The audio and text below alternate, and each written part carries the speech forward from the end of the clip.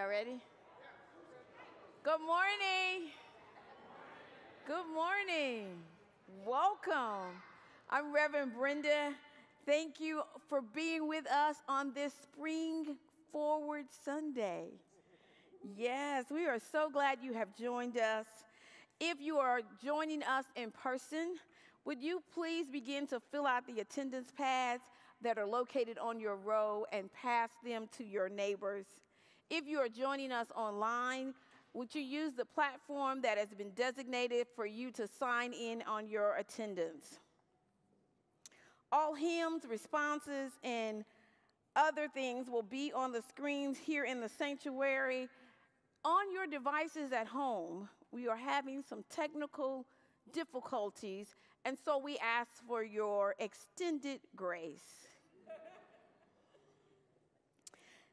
We have service opportunities for you to sign up this week. We would love for you to sign up in Wesley Hall. Wesley Hall is open, and Serve has a table, and we welcome you to serve. Sign up for Serve First for Holy Week, which is Monday, Thursday, Good Friday, Easter. We have three services that we need you to serve. 8 a.m., 9:30, and 11 o'clock. All need volunteers. Project Transformation, Neighbor to Neighbor are just a few opportunities where you can volunteer to serve first. Organ recital with Peggy Graff and Andy Rose is on Tuesday, March the 21st at 11:30 a.m., and a light lunch will follow in Wesley Hall. Now, would you please stand and join me for our call to worship, followed by our singing? Come, the banquet of hope and praise is ready.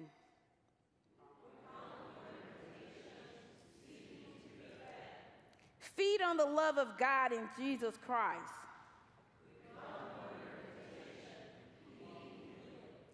Be healed by God's gracious mercy.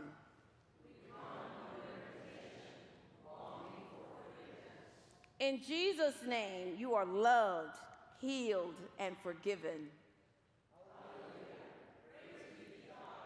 Amen. Well, hello, everyone. Good morning. Again, welcome here on this spring break Sunday. Uh, for those of you that I haven't had a chance to meet yet, my name is Matt Britt. I'm the Director of Youth Ministries here. And this Sunday, um, I'm filling in for Clint. He's out on vacation with his family, taking some much needed time off. So uh, I'll be leading y'all in worship with alongside the Gathering Band. So this morning, like Brenda mentioned, we do have a few technical difficulties. So the words may or may not be on the screen. Uh, some of these songs you'll know, some of these you won't. Um, but we encourage y'all, if you know them, to sing along and join us in worship this morning. Lord, I find you in the seeking. Lord, I find you in the doubt. And to know you is to love you, and to know so little else I need you.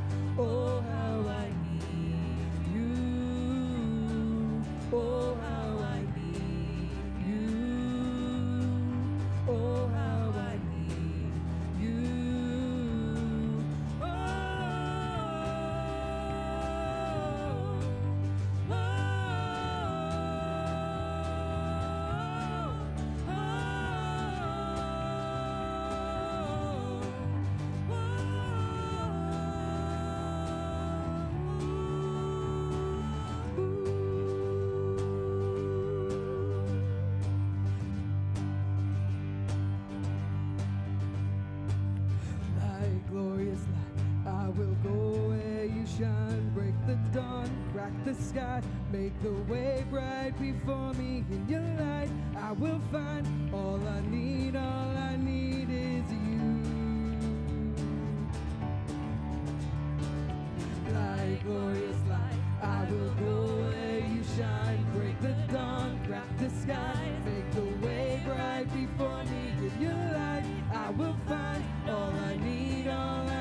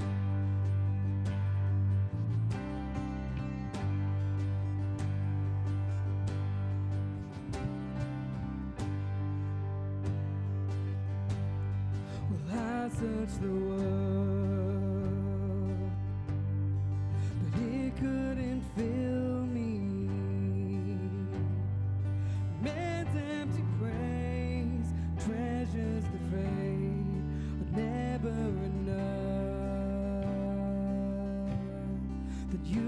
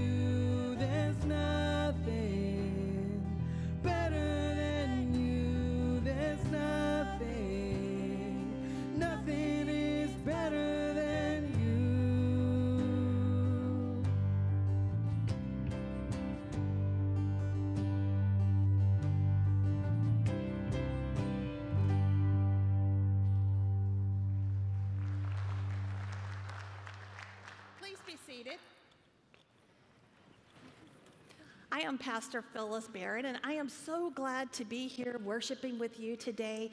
And we have the most wonderful, exciting, sacred time ever, and that is when we baptize children. And so at this time, I invite the parent of Luella to come forward. And Big Brother. Yeah, you can come too. Remember these words that Jesus said baptism is a sign of God's mercy and love, reminding us that we do not come into this relationship with God on the basis of anything that we do, but rather on God's acceptance and gracious invitation to us. We know that children have a very special place among the people of God. Remember these words that Jesus said Let the children come to me. Do not hinder them for such as this belongs to the kingdom of God. Yes, you do. All right. Well, parents, I have some questions for you. Do you confess Jesus Christ as your Savior? Put your whole trust in His grace and promise to serve Him as your Lord in union with the church, which Christ has opened to people of all ages, nations, and races? If so, say, I do. I do. Do you accept the freedom and power God gives you to resist evil, injustice, and oppression in whatever forms they present themselves? If so, say, I do. I do. And will you nurture Luella in Christ's holy church, that by your teaching and example, she may be guided to accept God's grace for herself to profess her faith openly and to lead a Christian life? I think we all heard the answer. Is that so? If so, say, I do. I do. And now, what is the name that this little girl is receiving? Luella B. Luella B. All right, Luella. How do you feel about just stepping a little bit away from your mommy? I'm gonna make sure you still can see her. Oh my goodness, she's so tiny. Now, Luella, do you wanna see this water? Oh, yes. Luella B., I baptize you in the name of the Father and of the Son and of the Holy Spirit. Amen.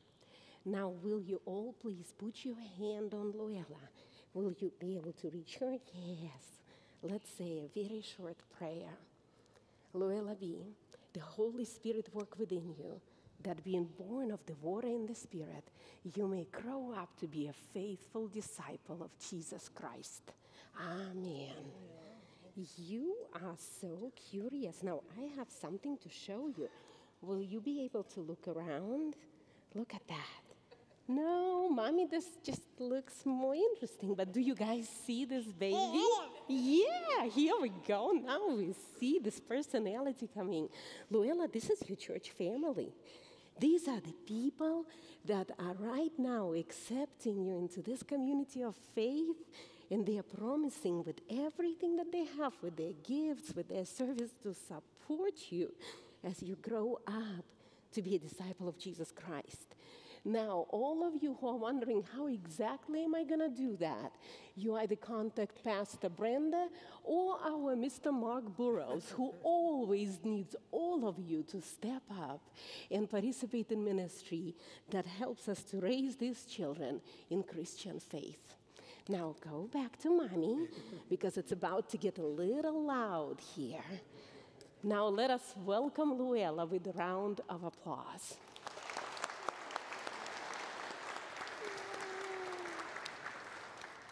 Thank you. You did great.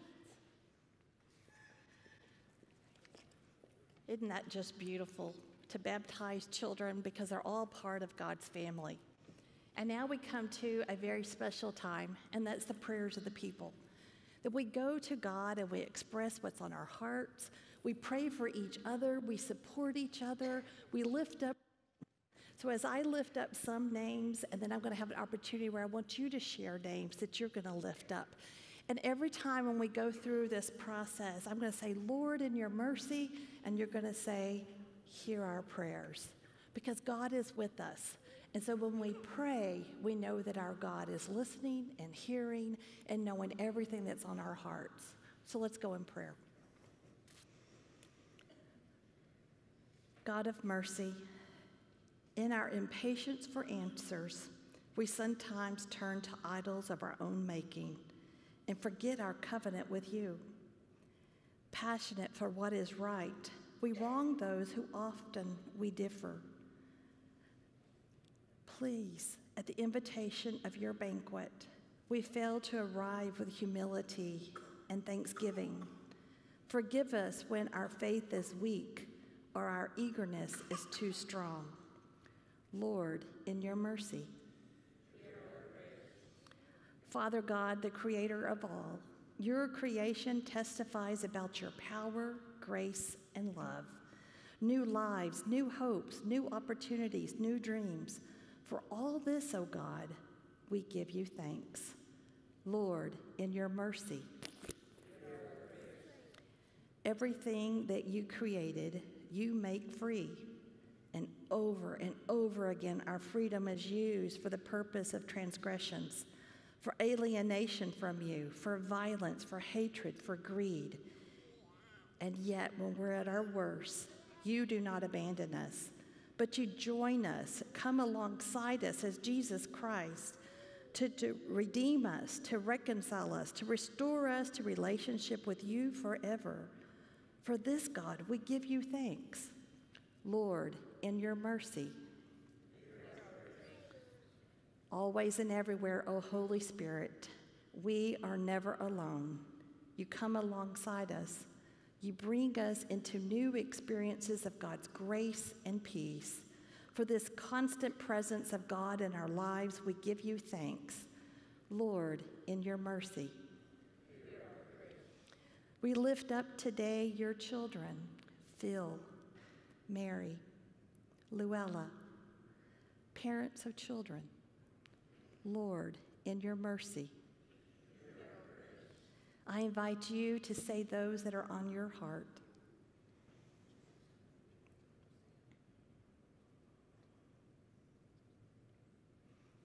Lord, in your mercy. Lord, you have heard our prayers with compassion and given us abundance and steadfast love. We give you thanks for your loving arms around us and for giving us peace and hope. Lord, in your mercy. Amen. Now, at this time, I would like our ushers to start making their way forward. And today, I want to lift up to you, and it's just perfect with us having. Uh oh, there we go. All the ministries for our children. You know, without your generosity, we wouldn't have programs that we have for children. And part of that goes with Sunday school classes, but we also have a family worship service that's going to be during Lent for everyone. We have the Easter egg hunt, which is coming up, which normally is about six, 700 children that come. And then also, Vacation Bible School is not far away. All of that is only made possible because of your generous gifts. And I want to thank you for that. So let us go to the Lord in prayer. Our gracious and loving God, take what we have. Let us be generous so that we can bless all the people in this world that need to learn and know you. In Christ's holy name, amen.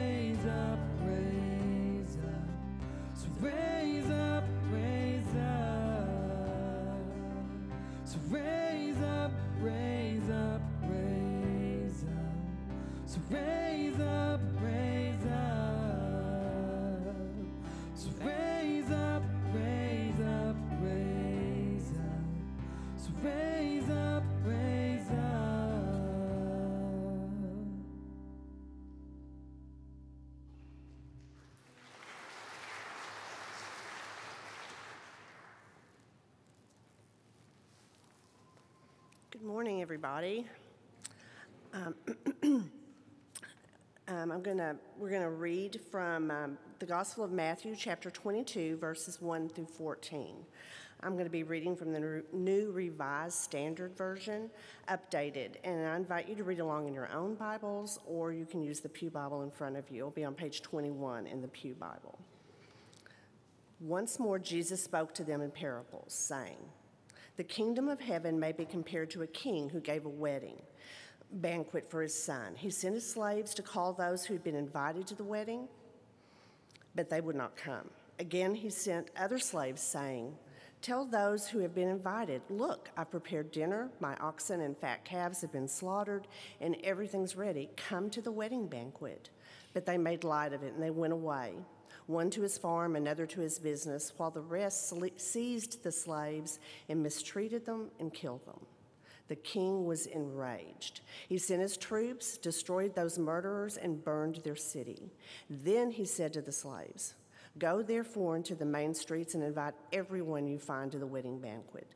Those slaves went out into the streets and they gathered, gathered all whom they could find, both good and bad. So the wedding hall was filled with guests. But when the king came in to see the guest, he noticed a man who was not wearing a wedding robe, and he said to him, Friend, how did you get in here without, wearing, without a wedding robe? And he was speechless. Then the king said to the attendants, Bind him hand and foot, and throw him into the outer darkness, where there will be weeping and gnashing of teeth. For many are called, but few are chosen. God speaks to us through the reading of Scripture. Thanks be to God Julie, for reading to us the scripture today. Um, my name is Zhenya, one of the associate pastors here. And uh, uh, before we get into the weeping, the gnashing of teeth, the utter darkness, or the destruction of the entire city, whichever one caught your attention, I want to give special thanks to our AV team today, the volunteers and the staff. About an hour before the worship service started, their words were that uh, everything seems to be super broken. And uh, as you can see, they were able to pull it off, they were able to fix it, and I'm so grateful that we here in the sanctuary and people who worship with us online are able to participate in this experience without any kind of interruptions. So thank you so much. I don't know what kind of miracle you did there, but it's all working great. Now, before we get into the scripture, and I do promise you that we will go through it, I'm not going to shy away from any of those verses that may have made you feel very uncomfortable. Uh, before that, I want to um, mention a few words about. Um, this person uh, whose uh, biography I've been reading recently, uh, it's a philosopher, Soren Kierkegaard. Um, now, I'm pronouncing his name the way I learned to pronounce it in Russia, so if that's not how you pronounce it, well, you're stuck with this version for today. and maybe after the worship service, you can practice with me the text and pronunciation of his name. So that's a 19th century philosopher, and I remember my first experience with him in college where he lost lost my attention somewhere between pages 5 and 10 of his very impressive work. Uh, couldn't get through, barely passed the class, wasn't great. But I stumbled upon his story of his life, and uh, it's amazing how the story of someone's life sometimes is so much more interesting than some of the writings that they left. So he grew up uh, in Copenhagen in a family of a Lutheran pietist, and uh, the childhood in that home was very difficult. The problem was that his dad truly believed that their family is cursed. And that, that firm belief that was part of his faith that basically leaked into everything that he did with his family and how he raised the children. All of that made the experience of growing up in a Christian home very different than from what some of you may know. So um, his father would take the, the sons uh, and uh, they would, he would take them to the cemetery. And as they were at the cemetery, he would just preach basically to them about the suffering of Christ and about how horrible their own sins were. The father was uh, absolutely certain and taught his children as well that they all will die by the age of 33 because that was the age of Christ when he died. That was the kind of a Christian home environment where uh, Soren Kierkegaard grew up. Now, my childhood was very different. However, when I was reading those pages, I felt like I knew somewhat what this young man was feeling at the time. Now, I grew up in a church where this text and similar texts from the Gospels were preached on a regular basis. I probably have heard a dozen sermons preached from this particular scripture. And I remember, I don't remember exactly the words or the examples or the stories. There were no jokes, by the way. My church, we didn't joke. Uh, we didn't laugh either. There was no clapping. I think the only bodily response that was allowed was very slight nodding. All right? No amens, Sister Brenda, none of that. Okay, we were very, very careful about how we responded to what God was doing in our midst. So as I was sitting there, and I don't remember the details, but I remember how I felt in the sanctuary where I spent my teenage years. There was a lot of guilt. There was some fear because we did not shy away from any of those words. And that guilt and fear that no matter how hard I try, whenever that judgment point will happen, somehow I will not measure up. And then, as I sat with that thought over and over again, I also looked at the backs of people in front of me, especially the ones that were doing the very slight Russian Baptist nodding. And just by looking at their backs, not knowing a single thing about their life or their face, just looking at their backs and those nods, I started feeling jealous, thinking that, well, now these are the people that will make it. These are the people that will have the appropriate attire and appearance of a Christian life when God is going to do that kind of a judgment that we just read about. All of those feelings were part of my Christian faith. And as I read this text uh, uh, this week, preparing for the sermon, I told myself, I'm going to preach a sermon that I have not heard before, but I wish I did. So let's walk through this scripture. First of all, those separations that we have in the Bible where the chapters start, those were inserted much later for us to basically find our way around the scripture. And uh, if you just look up a couple of verses before we started to read, you will see who Jesus was talking to. When the chief priests and the Pharisees heard his parables, they realized that he was speaking about them now, where are they? Jesus already arrived to Jerusalem. He did his triumphant entry as people were celebrating his arrival, but he knew exactly what path laid ahead of him in just a few days. He goes to the temple and he sees that the temple practices of worshiping God and prayer and praise were drowned in the activity all around the temple that had nothing to do with God, so he cleanses the temple. Now, that upset a lot of people. If you have ever been involved in the church, have you ever tried to move furniture around someone's Sunday school class? Okay, now those are the old church people here that, that have been around a while. You know you don't do that. Now, Jesus cleanses the temple, he upsets all kinds of people, especially people who were in charge of that temple. And so then, when Jesus comes back to the temple, they approach him and they ask him, by what, by what authority you do all of this? Who are you? Who you think you are by doing all these things? And then Jesus replies to them in a series of three parables. And the ones that we read today is one of those parables.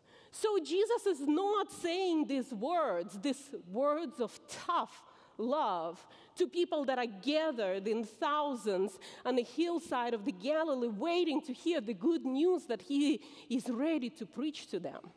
He's not telling these words to his disciples, to that group of faithful people that followed him through Galilee all the way to Jerusalem, that abandoned their lifestyles, that abandoned their families just to be close to him. He's not even saying these words to the apostles that he handpicked for a very specific ministry that is going to change their lives and the lives of so many people around them. That's not who he is talking about. He is talking to people who have power and authority, who are questioning him, and who are also, as they are talking to him, planning his execution. And he knows it. And so he has some tough words to tell them. It is very important for us to remember about it because when the parable starts, it may be very hard for you to find yourself in it. What am I supposed to connect with? Which one of this, which one of these verses is talking to me today? If you felt that way, it's because it's not talking to you. It's talking to a very specific group of people, especially the very first part. When the king has a wedding banquet and the king also invites everybody who is supposed to be at the banquet by the social and cultural standards. People knew who would be invited to the royal banquet. And so, as the king invites everyone who is supposed to be there, they don't come. Have you ever heard of that? No, this parable is bizarre. This parable is unbelievable. This parable is not the parable that describes everyday life and everyday experiences of people. This parable is meant to shock you from the very beginning. The people don't show up for a royal banquet. What does the king do? He sends another invitation. Oh, what a lesson on God's grace. Even people who are supposed to be there, when they don't show up, the king extends just one more invitation. Now, the response is the same, even worse. The messengers, the slaves that, God, that the king sends, are killed. And so, if, the, if uh, um, verse 7 was the first verse that shocked you and upset you, and you there and you thought, I don't know what to do with that. Let's walk through it. The king was enraged. He sent his troops, destroyed those murderers, and burnt their city. Whoa, where did that come from? We started so well with grace and with just one more invitation, and now we are burning the city. Where's that coming from? I'm going to give you a little tidbit of historical information that may help you understand why these words are in this scripture. Now, the author of the gospel probably had a firsthand experience of the city of Jerusalem being burnt down and the temple destroyed by the Romans in the year 70. And if he didn't have a first-hand experience, he definitely have heard enough and he has met enough people to relay what it was like to see the city burn, to see the temple being destroyed one more time. It has happened in the past. In fact, most of our Hebrew Bible scriptures in the Old Testament are influenced and reflect on that moment when the first time Jerusalem burned and the temple was destroyed.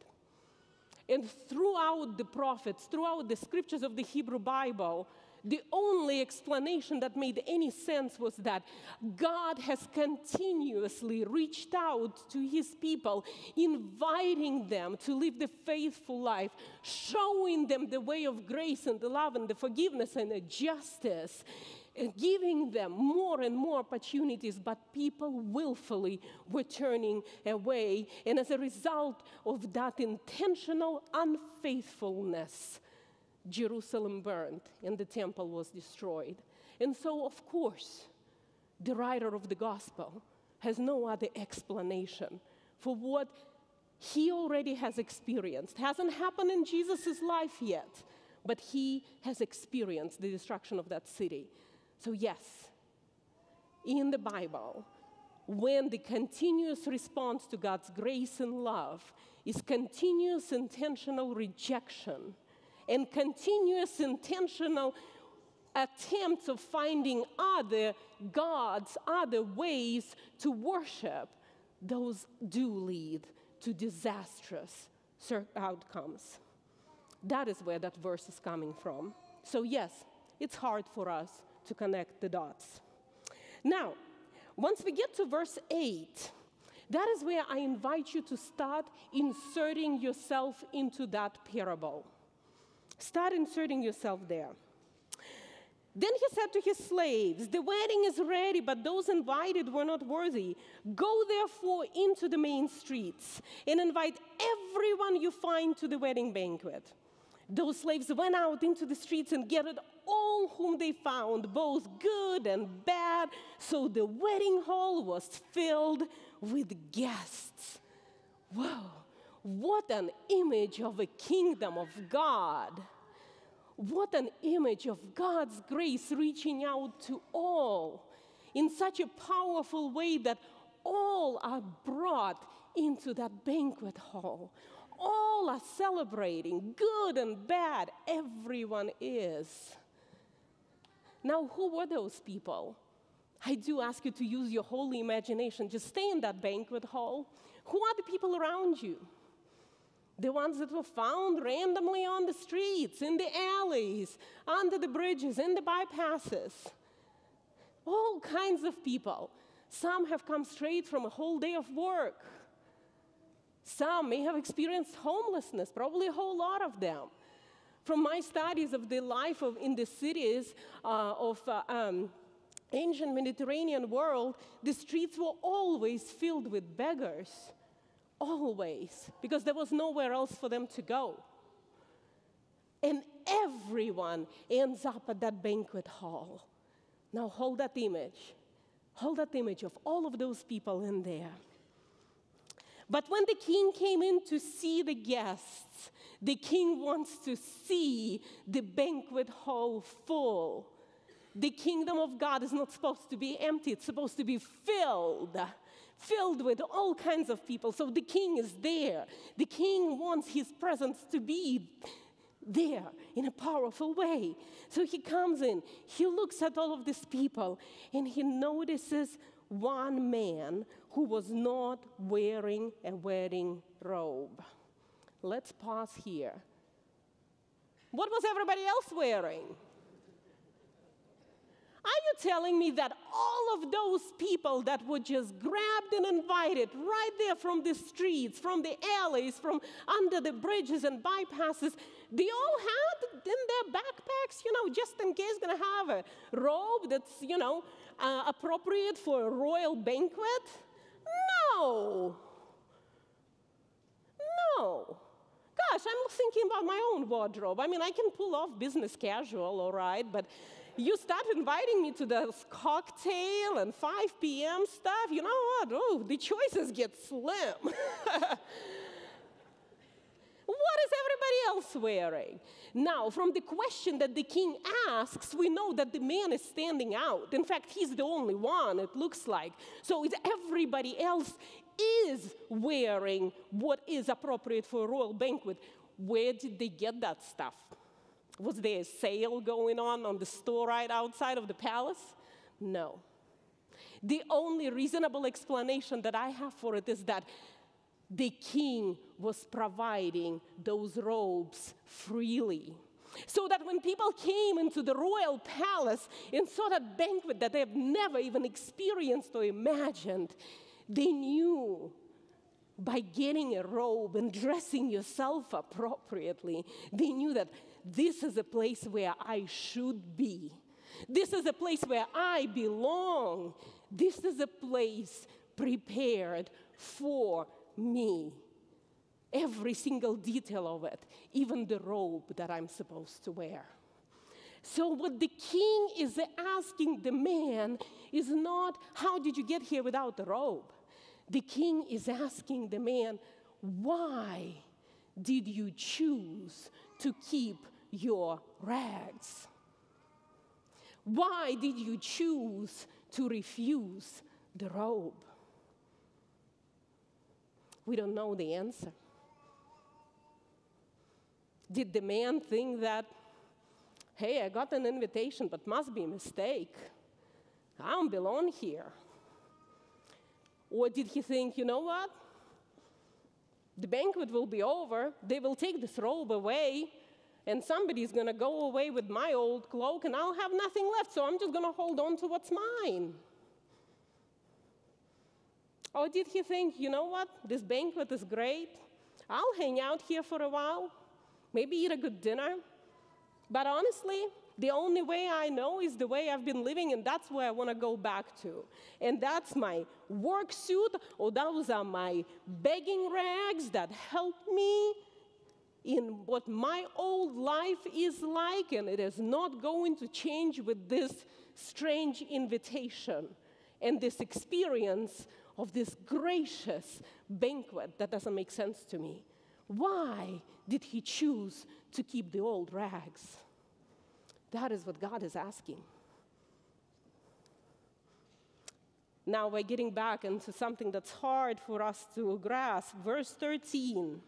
Then the king said to the attendants, Bind him hand and foot and throw him into the outer darkness, where there will be weeping, weeping and gnashing of teeth.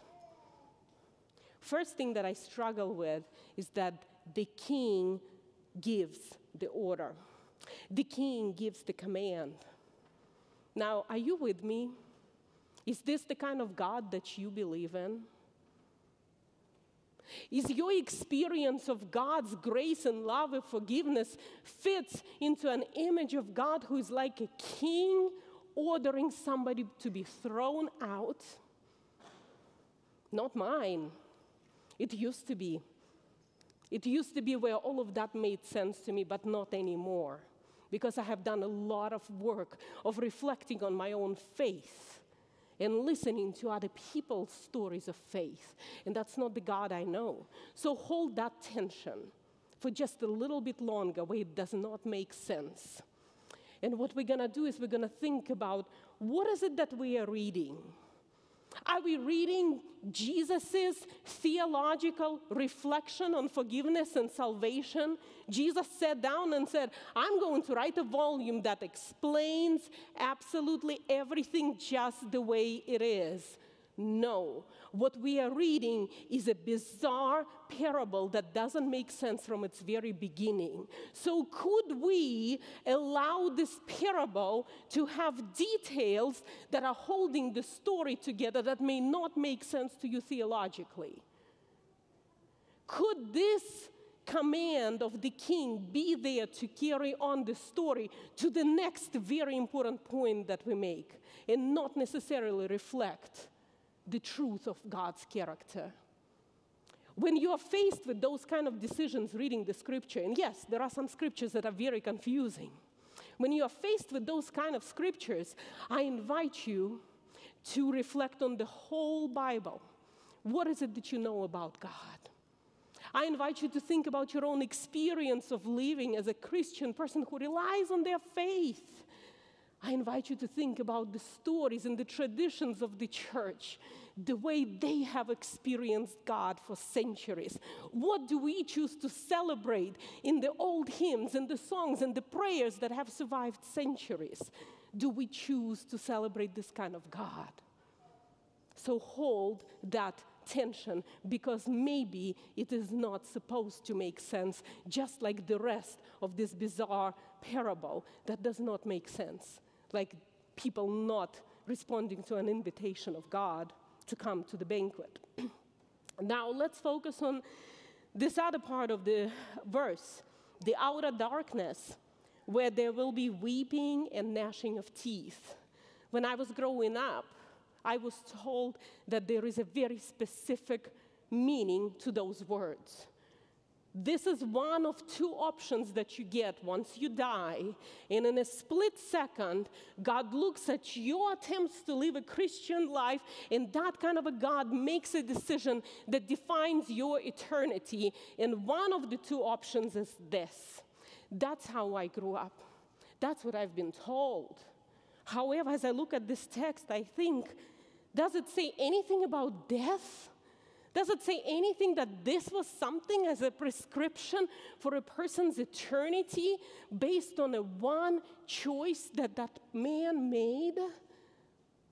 No. No.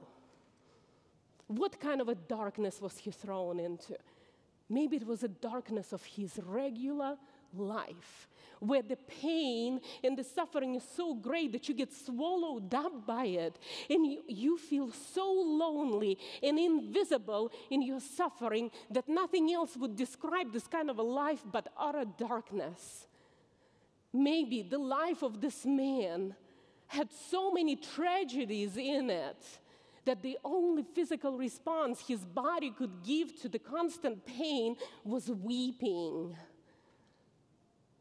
Maybe he clenched his teeth so hard over and over and over again, trying to squeeze the pain from tearing the entire fabric of his life apart. We know those kind of circumstances. I work with people. I know your stories. I know how a split second accident, how a phone call from a doctor's office, how a manila envelope with some paperwork could just steal away the dreams, the hope, and the whole desire to live, but you have no other choice. So you exist in something that could be described as utter darkness, and there is weeping, and there is gnashing of your own teeth. For many are called, but few are chosen, is how Jesus concludes the story. Well, what does that mean, chosen? What does that mean, chosen? Again, as I was growing up, I felt like I was sure who did the choosing. Are you? When we think of the story, who did the choosing? God was the one that said, Go invite everyone, bring everyone in. There is plenty for all. What kind of choosing was that? Well, the man was the one that did the choosing. So, what about him? Are we going to leave him there, suffering? Is that the kind of God that you believe in? The God that gives us one chance and then we are out? That's not the God we believe in. The God we believe in is the God who extends His grace over and over again, who extends His invitation over and over again. And we are also believing God who may be the only one who knows how to find someone who is drowning in utter darkness. We believe in God who has the power, not the violent power, but the power of grace to pull someone out of that darkness and invite them again. So, Soren Kierkegaard, one day later in his life, woke up and just felt indescribable joy. And as a philosopher, he struggled because rationalizing was what he chose to do, trying to find the meaning in his life, but all he felt was joy. And he, when he pinpointed where is that feeling coming from, it came from him feeling, knowing in the deep, deep, deep soul that he is a man found and chosen by God. And so he wrote, reflecting on his faith and encouraging other Christians, saying, Choose again and again with each new day to be a real self, an authentic person in relation to God. Abandon your calculated safety for a recklessness, wholehearted life of faith in Christ. Continue to become, grow, risk, take that radical leap of faith right now. Choose to do so. Let us pray. Loving and gracious God, I thank you for the gift of your grace, for the gift of your forgiveness that is there all the times, for the fact that you do not change and your love to us cannot be separated from us, neither by the tragedies and pain of our life, nor by death. I thank you, God, that you have found us and you called us your faithful disciples and you taught us to pray, saying, Our Father, who art in heaven, hallowed be thy name. Thy kingdom come, thy will be done on earth as it is in heaven. Give us this day our daily bread and forgive us our trespasses as we forgive those who trespass against us. And lead us not into temptation, but deliver us from evil. For thine is the kingdom and the power and the glory forever. Amen. when Jesus was with his disciples, with the people that were faithfully following him to the best of their abilities, he was celebrating a holiday with them. He, they were sitting at the table. He took the bread, he blessed it, and then he broke it. He graciously gave it to his disciples and said, This is my body broken for you. Eat it in remembrance of me. In the end of the supper, he took the cup of wine. He blessed it, gave God thanks for it, and then looked around the table at the people he loved, at the people that he wanted to be at that table, and said, This cup is the blood of the new covenant, shed for you and for many for the forgiveness of sins. Drink of it in remembrance of me. And so we do so I invite right now ushers who will be serving the communion to come forward and prepare for the stations. Our ushers will be guiding you from the back of the sanctuary to the front to receive communion in the balcony. They will be guiding you to the station. Every single uh, station has a gluten free option if that is what you choose. When you come forward, receive the bread, receive the juice. We use non alcoholic grape juice not to exclude anyone. On your way out, please dispose of the cups and the trash cans on the side. The table is set, the meal is ready. Come and be fed.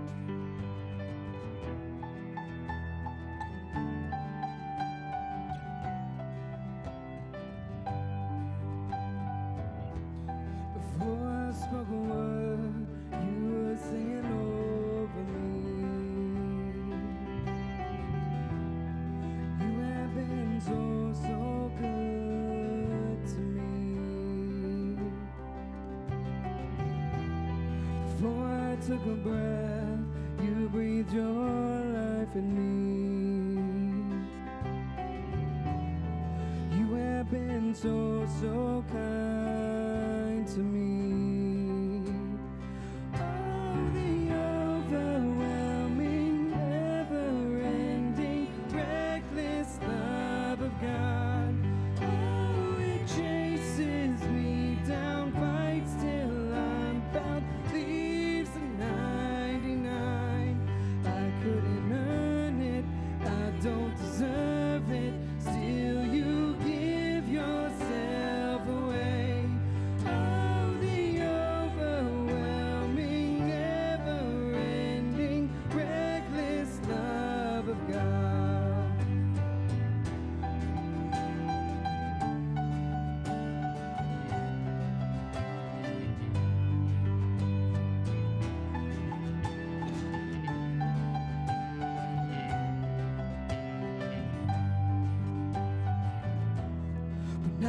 your foe, still your love fought for me.